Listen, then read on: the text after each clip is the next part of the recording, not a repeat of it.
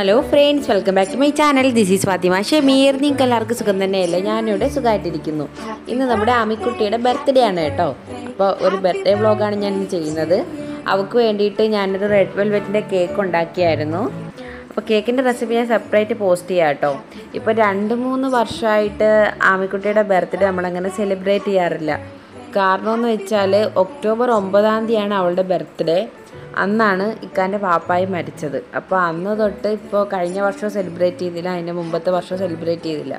അപ്പോൾ നമ്മൾ കരുതി ഈ വർഷം സെലിബ്രേറ്റ് ചെയ്യാം. അവൾക്ക് ഭയങ്കര ഫീലിംഗ് ആണ് അവളുടെ ബർത്ത്ഡേ സെലിബ്രേറ്റ് ചെയ്യാത്തതുകൊണ്ട് അങ്ങനെ ഈ പ്രാവശ്യം അവൾ ഇവിടെ ഇല്ലായിരുന്നു കേട്ടോ. ഒക്ടോബർ ഒമ്പതാം തീയതി അവളുടെ കോഴ്സിന്റെ ഭാഗമായിട്ട് തൃശ്ശൂരായിരുന്നു. അതാണ് കുറച്ച് വ്ലോഗായിട്ട് അവളെ കാണാനില്ലാത്തത്.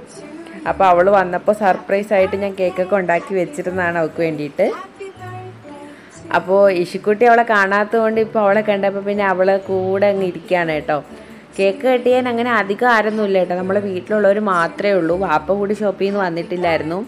ഞാനും അനിയനും അനിയത്തിയും ഉമ്മായും പിന്നെ അനിയന്റെ ഒരു ഫ്രണ്ട് സാബി നമ്മുടെ ബർത്ത്ഡേ വ്ളോഗിലൊക്കെ കണ്ടില്ലേ?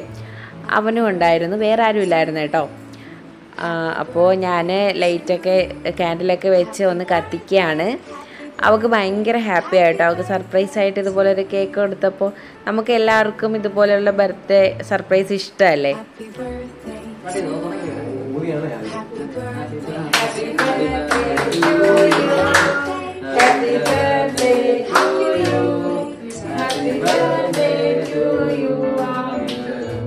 Happy birthday to you.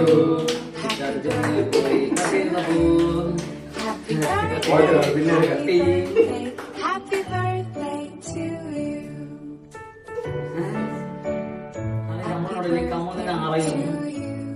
Happy birthday to you. Happy birthday, happy birthday, happy birthday to you.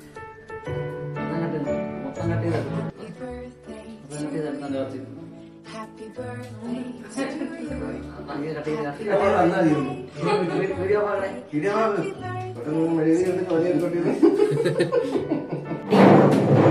ആമനക്കുട്ടി സ്പെഷ്യൽ അമ്പൂർ ബിരിയാണി. തിന്ന് തിന്ന്. പിന്നെ അവക്ക് വേണ്ടിയിട്ട് ഞാനൊരു അമ്പൂർ ബിരിയാണി കൂടി ഉണ്ടാക്കിയായിരുന്നു. ഇന്ന് ഉച്ചയ്ക്ക് ബിരിയാണി ആയിരുന്നു അവൾ പക്ഷെ വന്നപ്പോഴത്തേക്ക് വൈകിട്ട് നാല് മണി കഴിഞ്ഞു. അപ്പോൾ പിന്നെ വൈകിട്ടാണ് അവൾ കഴിച്ചത്. അപ്പോൾ അവൾക്ക് സർപ്രൈസ് ആയിട്ടാണ് കേട്ടോ ഈ ബിരിയാണി ഞാൻ ഉണ്ടാക്കി വെച്ചിരുന്നത്. ഇതിന്റെ റെസിപ്പി ഞാൻ പിന്നീട് ഒരിക്കൽ പോസ്റ്റ് ചെയ്യാം. ഇത് ഞാനത് ട്രയൽ ചെയ്ത് നോക്കിയതാണ് കേട്ടോ അമ്പൂർ ബിരിയാണി. അതിൽ എന്റേതായ കുറച്ച് മാറ്റങ്ങളൊക്കെ വരുത്തിയാണ് ഞാൻ ഈ റെസിപ്പി റെഡിയാക്കിയത്. അപ്പോൾ അടുത്ത വീഡിയോ കാണുന്നത് വരെ ടിൽ ദെൻ ബൈ ബൈ